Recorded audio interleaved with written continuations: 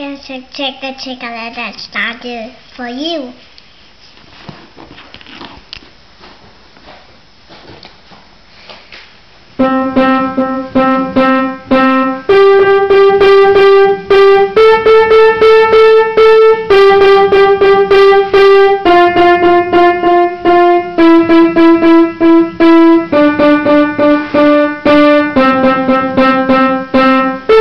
Thank you.